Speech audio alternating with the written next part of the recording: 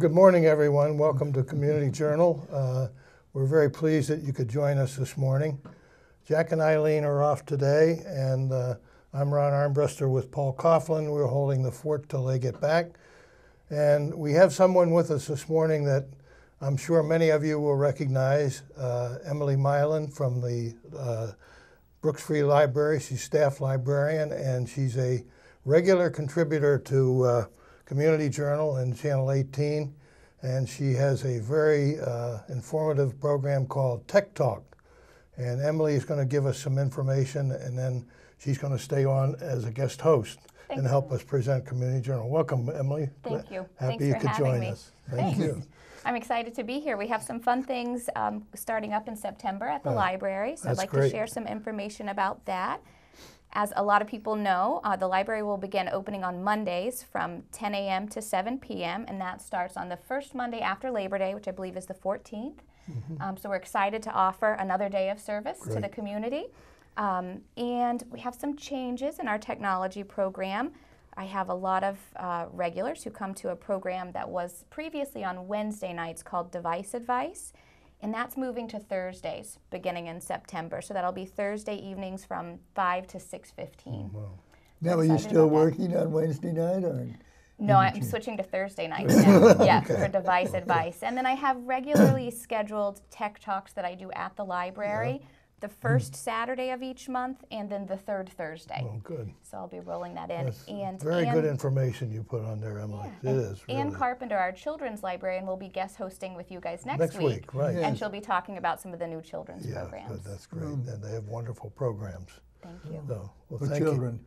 For children, Yes. yeah. You a child? No, but they have a lot of other good programs. You go, you go down in the book club. I don't do. Yeah. Yeah, I You do go so to the take book club. advantage of that. Yeah. And I, I read a I go lot to of two book- book clubs. I I read to a- do you really? Book Yeah. club. Oh, you're with Carla. Okay. Yeah. Yeah, the greatest generation. Yeah, that's you good. go. That's good. Good for you. You It's not my generation, not mine. but it's mine, and not yours. well, thank you very much, Emily. Uh, Paul, uh, you usually put, have a pretty heavy workload on Wednesdays with two or three interviews, and you had a relatively light day yesterday. Yes, you only did one, but it was it was a very important one because uh, we have two upcoming events that um, I know people are going to enjoy, and I know you love one of them. so, well, one of the ones that, that they did is the antique show, yeah, and it's important to remember that you can get a dollar off your fee to get into the museum by getting a slip here at the li- at, oh, here at the community center. I think There's one at the library. I think there's one at town hall. oh, good. and you can pick one up. And you can also get an ad out of the newspaper. There are three newspapers. No kidding. That's great. in great. town. And that'll save you a buck Yeah. when you go in. Good. So that part is good. And mm-hmm. so Nothing, no discounts on the pies, though. no discounts on the pies. No. Oh, no. that's right. The You love pies them are any- good. You love them anyway. Pies are very good. yes. But I never get what I want. That's mm-hmm. the trouble. You go. You need to go earlier. They I told know. you that They yesterday. told me I got to go at 11 o'clock. But that's, that's a long time to stand there and yeah, wait. I know it is. It's Yeah. too long. So, but anyhow, here we have the library. Here, no, here we have the museum. So listen up. Historical Society.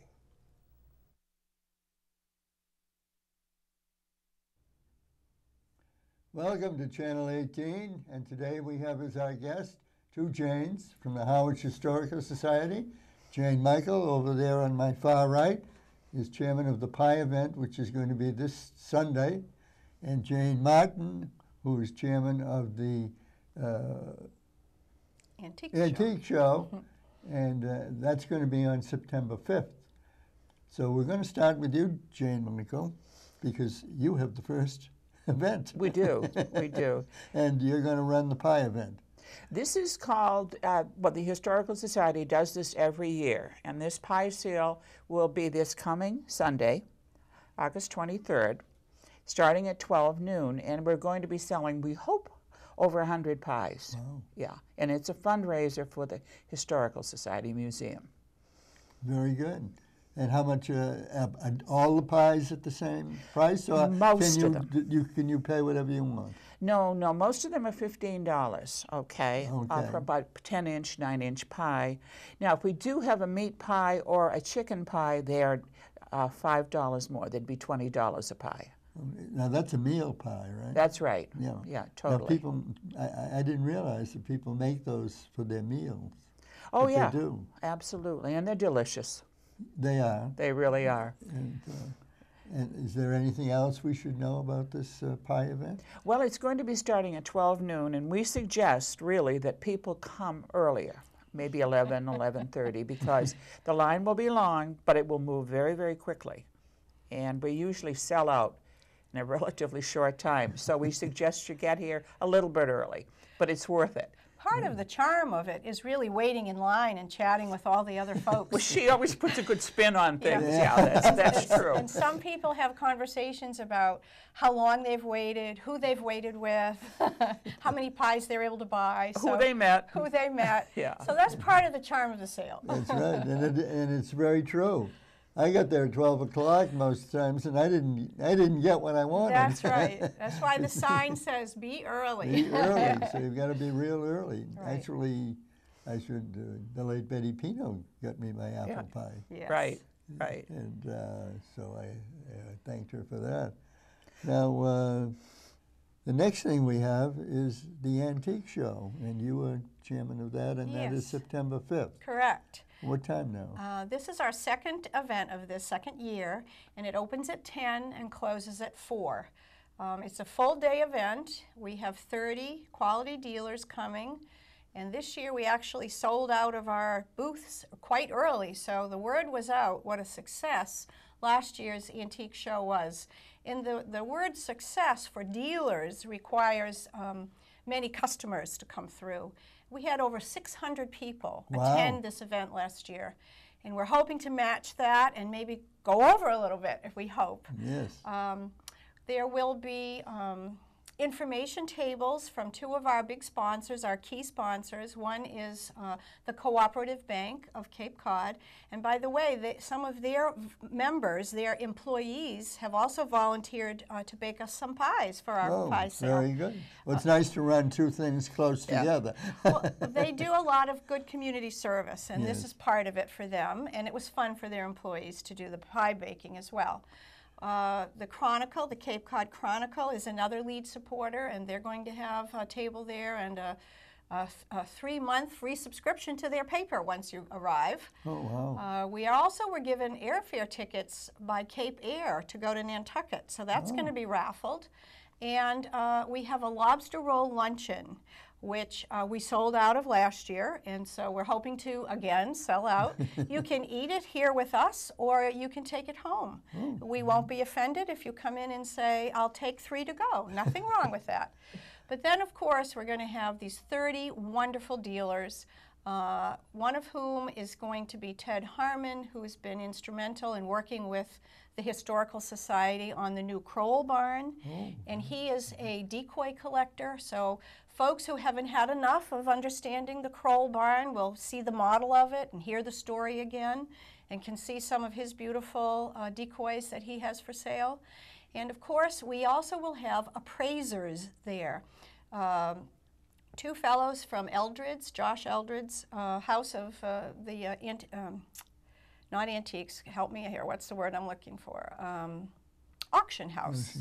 Uh, they will be participating as well as um, Charlie Adams and um, David Thompson and Jackie Nuzio, who are dealers at the show that day. So uh, people can come and bring their items. They're wondering if it has any value. This is a verbal appraisal. You can have one item appraised for five dollars, two for seven, and a limit of three items for ten. And if uh, the appraisers are at the table when you come uh, don't have knowledge of that, well, we have 30 other dealers to, uh, to shop with and see if they might be better aware of the item you might bring for appraisal. There is an admission fee, it's $5. Children are free. But if you pick up one of these cards, Or, uh, and you'll see these all around town at, uh, here at the community center, at the Chamber of Commerce, at the bank, at the cooperative bank, and a variety of other places, the library and so forth. Um, this would give you a dollar off in admission. And we'll also have uh, the type of little ad in the newspaper you can cut out and bring, and that gives you a dollar off as well. And those ads will be in the Cape Cod Times, the Chronicle, and the Cape Codder uh, over the next two weeks. Very good. Well, you seem to have covered everything. Well, I think the important thing to remember about both these events is that all the money that we raise goes to the museum. Yes. I mean, for the use of the museum. And now that we have the responsibility for the Kroll Barn, we have more expenses because we need more people to work these places.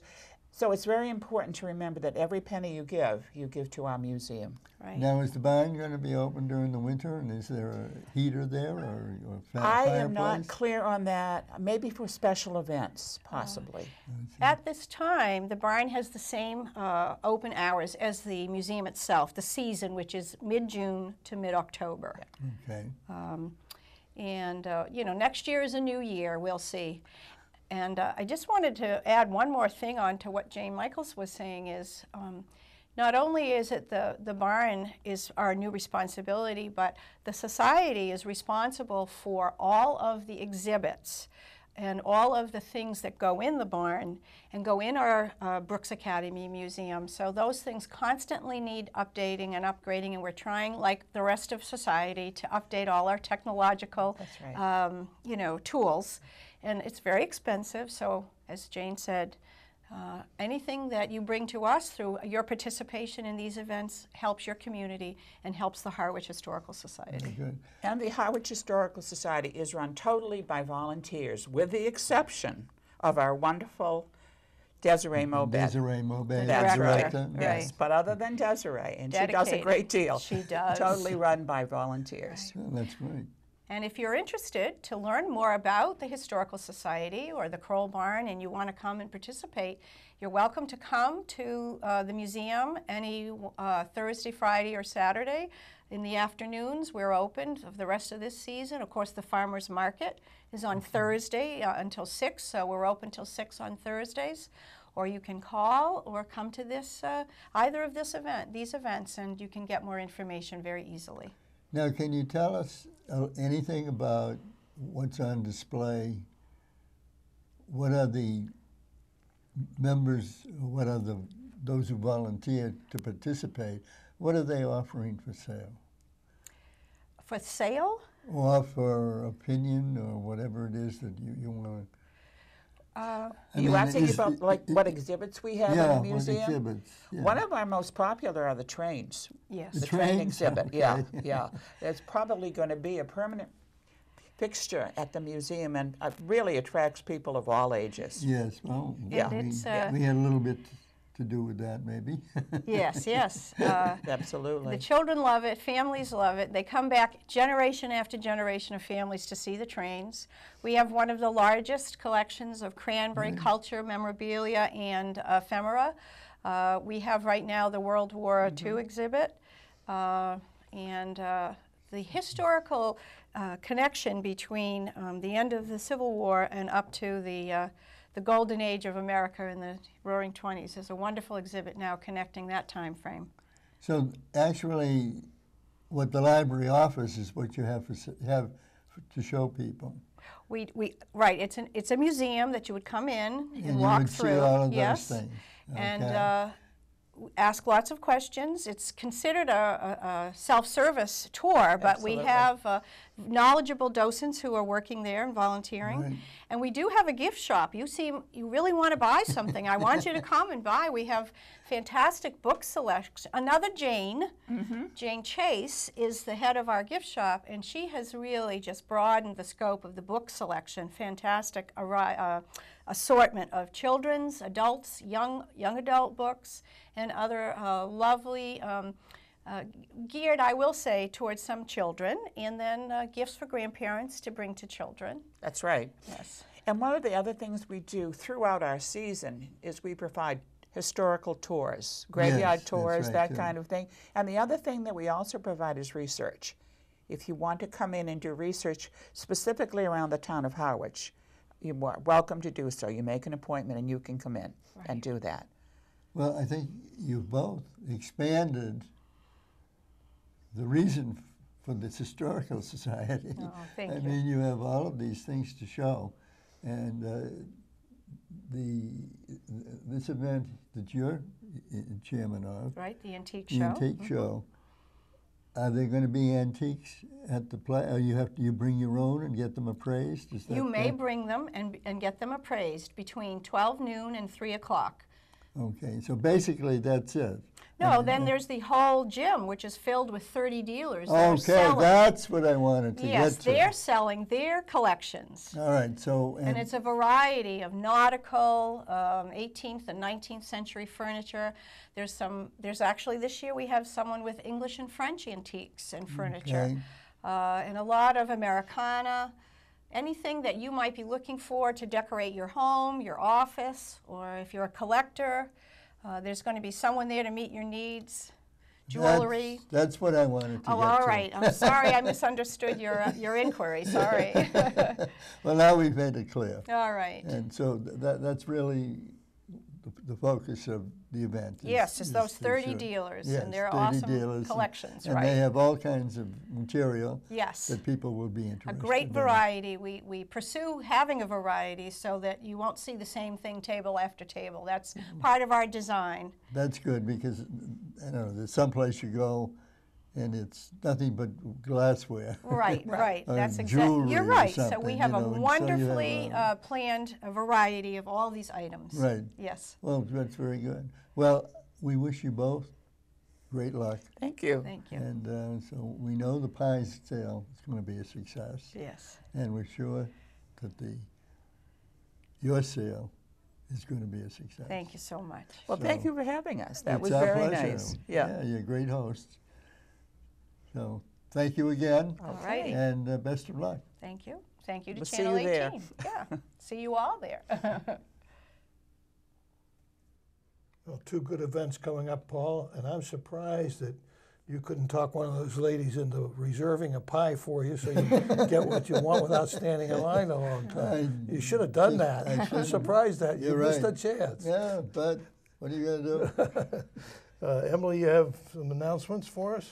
I do. This first announcement is really interesting. It's about a new pilot program that the Family Pantry of Cape Cod will be doing in partnership with the Outer Cape Health Services uh, and the Cape Cod Cooperative Extension. They are looking for participants who are, were interested in, in being a part of this program that explores the impact of nutrition and healthy eating on diabetes and hypertension. So, this pilot program will run every Tuesday from August 4th until September 29th, and they need volunteers to come in for health monitoring um, on those Tuesday mornings. And as a part of the program, they'll get an extra bag of fresh fruits and vegetables each week and recipes and food samples. Great, that's nice. That's really Yeah. worthwhile. And what kind of fruit do they get? Good question, but it says fresh fruit. So fresh, fresh fresh fruit. fruit, absolutely. And an important thing to note is that it will be completely confidential for every participant. Oh, that's great. oh, okay. So you can get what you want. They do a great job up there, and they have They fresh do. vegetables. They have their own garden, Garden, which I know, helps. yeah. Really What is nice. this now? Uh, family pantry. Oh, They yeah. have a nice have big own garden out back. Unfortunately, uh, it's not big enough. To, people get small amounts, and unfortunately, you can't give them a lot because Yeah. spread, they have to spread it out. Yeah. So, Yeah. Good. And you have something else then, Emily? Um, yes, we do. The Are you going to do the other one there? I think. This one? This one, yeah. Oh, okay, so we were just talking about the antique show. So just a reminder that that will be Labor Day weekend, Saturday, September the 5th from 10 to 4 here at the Community Center. And as Paul mentioned before, admission is $6. It's free for children. But if you grab an ad from the newspaper or one of the cards at one of the local community, at the community center or library, then you can get a dollar off your Oh, admission. that's, that's, that's go. good. That's good. That's good information, Paul. Um, the Harwich Police Association is having their annual jailhouse barbecue on Saturday, September the 5th, from 11 in the morning till 2 in the afternoon. And it's at the police department on Sisson Road. Uh, and they have extra parking across the street at the uh, where the middle school used to be. And uh, there's some fun events coming. They have uh, you can dunk a cop in the dunk tank. I think I'd be very careful of that. They might have long they might have long memories. Uh, they have free mug shots. Uh, I have a bounce house which the kids love, and an obstacle course, child ID kits, and you can meet the uh, the police officers and the staff, and you can uh, actually sit in some of the cruisers. I guess they have ATVs and motorcycles and more very importantly, refreshments including hot dogs, hamburgers, chowder, and a lot more. And uh, they always do a great job, and I know the children really love it, and everybody else. So Well, I, I could go and, and dunk somebody and they couldn't get me. why? they don't drive anymore. Oh, that's right. Yeah, but they might see you walking. might have a long memory. I walk. Uh, Jamie went down the other day to uh, the Reaching Heart Ballet Center, and uh, she uh, she took a, some film there, and it's in West Harwich with Joe Burke and Melissa Hart, and uh, we're now going to show you that film clip.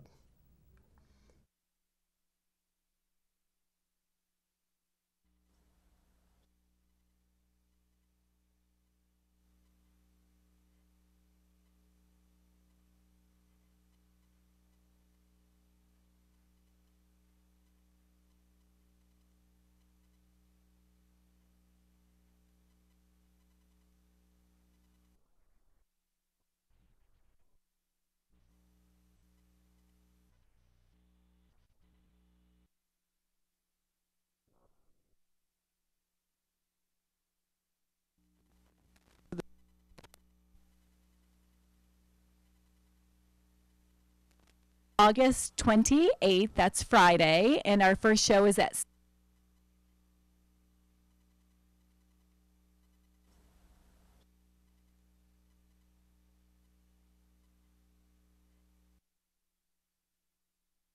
the 29th we're performing at 1 o'clock and at 6.30 p.m and our prices are $10 for children under 10 uh, $15 for people under 21 and then senior tickets are $22 and adults are $25 Great. Melissa, I know that we have a number of guest teachers this summer and guest artists. Tell us about the two guest dancers that are coming to us from Gelsey Kirkland's studio in New York City.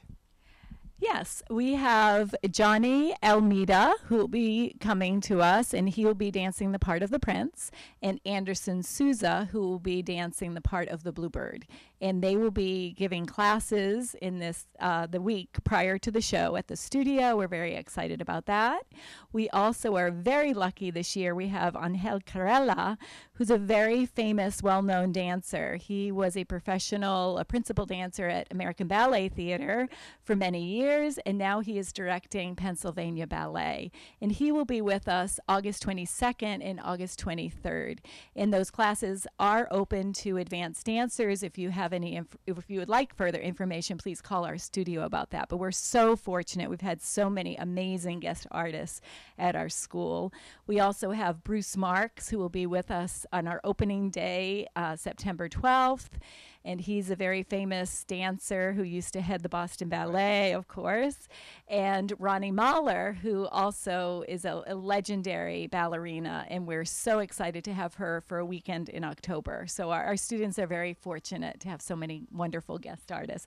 And I have to also mention our beloved Todd Hall, who will be um, helping us put the performance together. And he'll be teaching three master classes the week prior to the performance. And Todd used to be in Boston Ballet, and he's a very charismatic teacher that the students love very much. So lots going on at our studio. Thank you so much, Melissa. We're going to show a little bit of um, rehearsal in the studio as well as a little bit of classroom work. Can you tell us about some of the age of the students and how many students you have in the production this summer?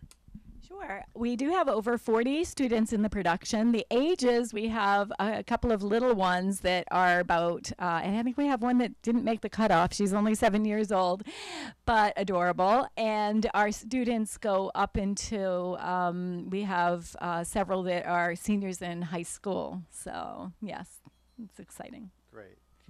We're going to go inside the classroom here and show some rehearsal footage. And we so appreciate that you support um, Reaching Heart School of Ballet. Thank you so much, Melissa. A great interview. Thank you, Joe.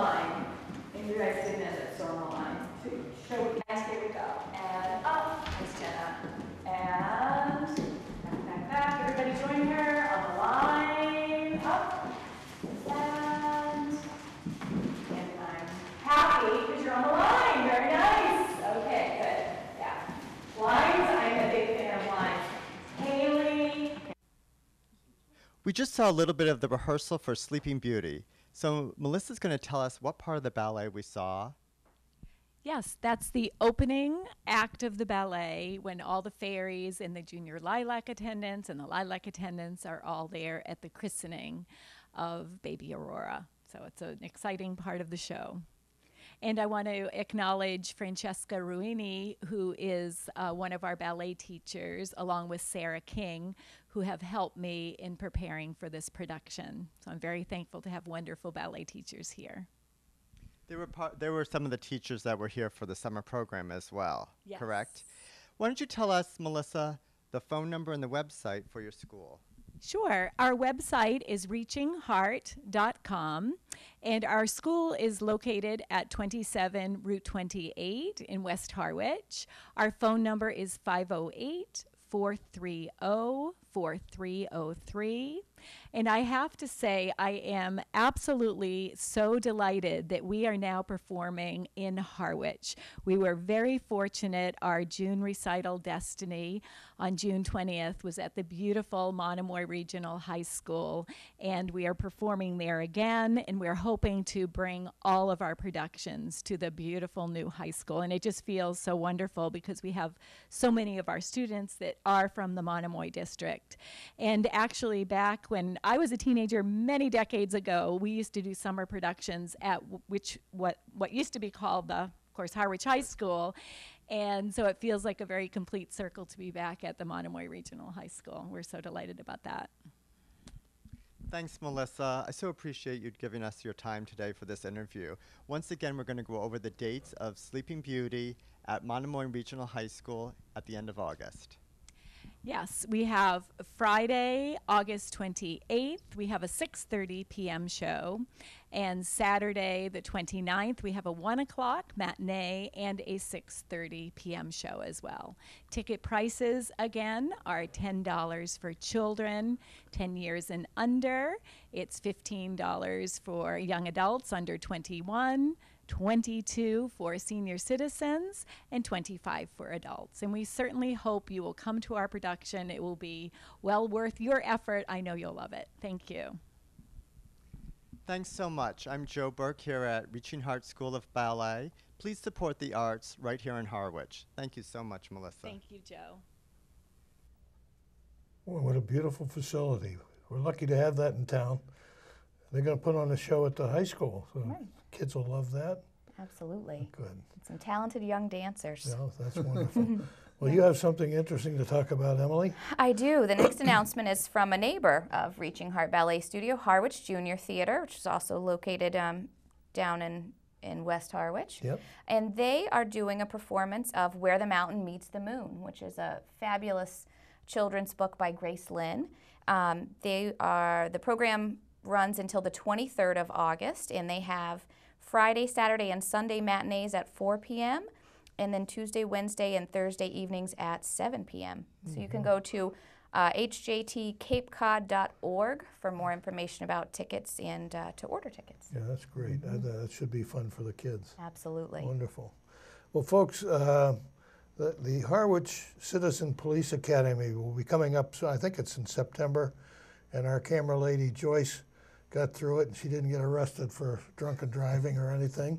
Uh, but the their applications for this are available at the police station and here at the community center. And just remember, you have to be a resident of Harwich, and you can't have any felony convictions.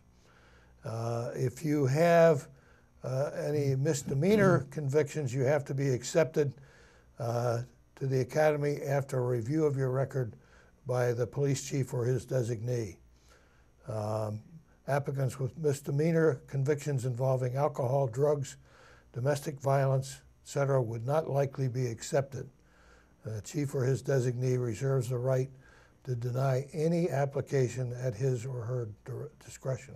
And I think Joyce, you really enjoyed this program, and I think you recommend it highly for people. So uh, if you're interested, uh, pick up your application either here or at the police station. Paul, you have an announcement too. I have uh, sports night here at the community center every Tuesday afternoon between one and three o'clock, and it's a great event. I mean, if you have any paraphernalia that you have from some sporting event that you've enjoyed, uh, bring it along with you. Tell someone about it, or if you just remember a game or remember some event, uh, come and talk about it. Uh, it's great fun, and uh, it should be a good time. Just don't talk about the Red Sox That's, stay away from the Red Sox. or Tom Brady.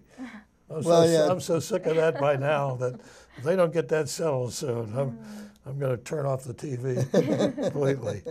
Uh, well, yesterday, uh, Caleb went down to the uh, town hall and uh, we got the, and he filmed the uh, administrator's uh, regular monthly address. So let's listen up to that, please.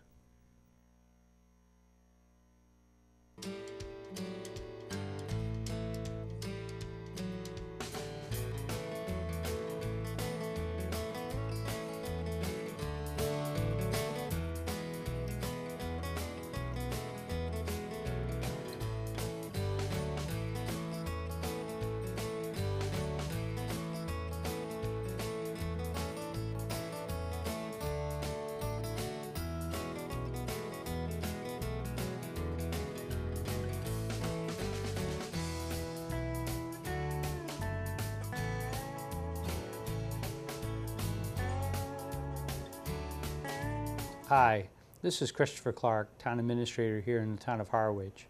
I'm here for one of my monthly updates that I like to provide to the community at large. I have several topics that I would like to cover today. Uh, one topic, as you can note, uh, outside and behind me, we are in the, uh, the throngs of summer. And with summer means uh, significant things that are, are happening. A couple things that summer mean during the uh, municipal calendar is that our fiscal year starts on July 1. So our FY15 fiscal year actually ended on June 30th. So we are in the process of going through and making sure that the, the June 30th FY15 closed out on positive notes. I think some of our preliminary information is very positive. So we are in the process of kind of analyzing how we did in 15. Uh, our current fiscal year is FY16, and we're already starting to lay out the calendar for FY17, which means the May 2016 town meeting. So that's one of the th- areas that, that we're focused on. Uh, so far, I'm very cautiously optimistic that we will have a third year in a row of a positive uh, fund balance to our revenues.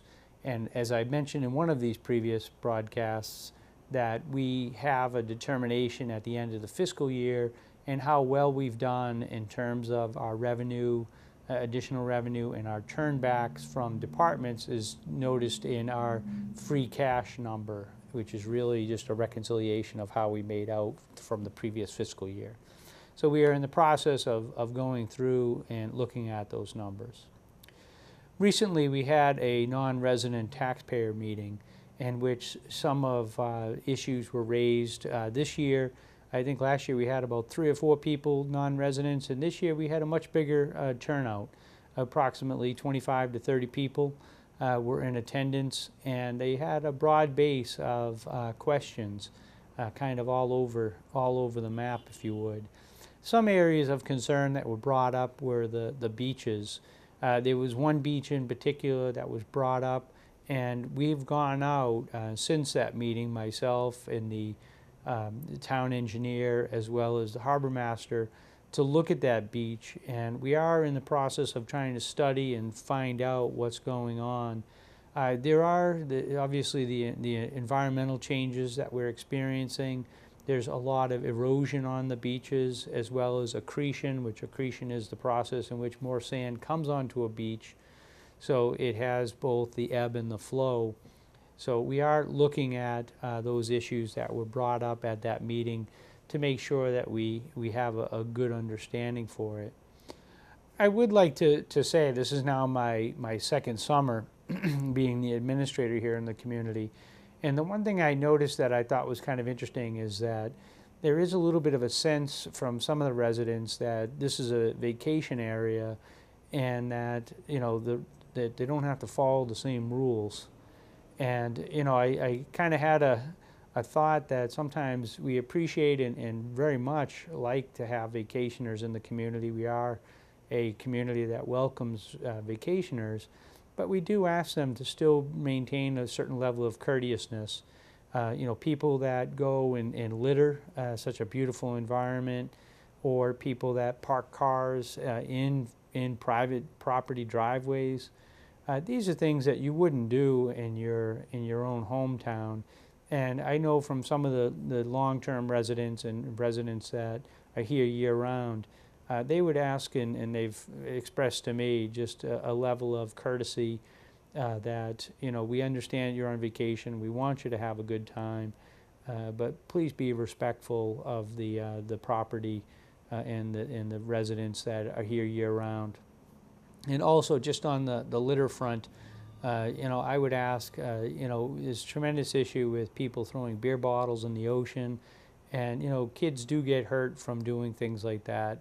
Uh, so we would ask that just, just be respectful of, of the environment. Uh, we do make a, a concerted effort to make sure that we have trash barrels at each of our beaches, uh, so you have a location to deposit your, your trash. Uh, enough of that uh, topic. Uh, one of the positive topics that I think that's happened over the last couple months is behind me in the, in the backdrop. You'll probably notice from some earlier episodes that we had uh, the house behind me is called the Albro House, and that house previously was white and, and desperate in need of a paint job.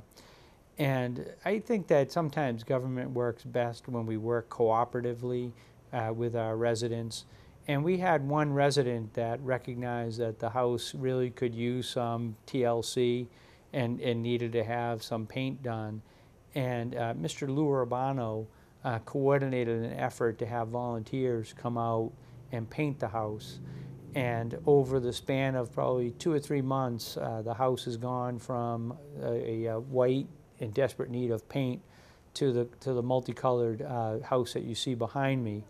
Uh, one of the things that I know Mr. Urbano would appreciate me saying is that it is a historic residence, and we want to make sure that we're respectful of the historic elements of that building. So we, we have looked and asked for the Historic Commission to provide some insight and some expertise into the color pattern for the house. So they have done that. So the house colors behind me are something that was recommended uh, for the historic period in which the house was originally uh, constructed. I think this is a, uh, a great opportunity where you can have public and private partnerships to, to work in concert. And I know this year in the upcoming uh, budget cycle that I will be uh, working on various issues in regards to property. Uh, we are engaged in what to do next on the uh, middle school property. Uh, so that will be one area that, that you'll see over the next several selectmen's meetings of what to do with the, the middle school. Also, uh, two other areas. I have received a letter of interest in terms of acquiring by a private group uh, the Bank Street Fire Station, the former Bank Street Fire Station. Currently, that fire station is being used by the harbor master to store uh, his, some of his materials, as well as being used by other groups that have uh, storage issues and storage needs in the community. So that, that will be one that, that we're looking at for some concepts. The remaining one is the West Harwich Schoolhouse. Uh, that is an area in which we are also looking at uh, how can we clean up that section of Route 28? How do we improve that? Uh, if you notice as you drive in the area, uh, Division Street is the boundary line uh, between Harwich and Dennis, and Dennis has spent a lot of money and effort to kind of clean up that area. So Harwich is going to look at that area, and that will become a focal point for us in the uh, not too distant future to see what we can do to accomplish. Well, I've received my high sign that I've hit my, uh, my mark. So I think that covers what I, the topics I would like to cover today. And once again, if you do have topics that you have an interest in, uh, please don't hesitate to contact the studio to let uh, Caleb, the man behind the camera, uh, have some input, and I will attempt to cover whatever topics the residents uh, would like to have covered. So once again, Christopher Clark, Town Administrator of Town of Harwich, thank you for your time and your attention.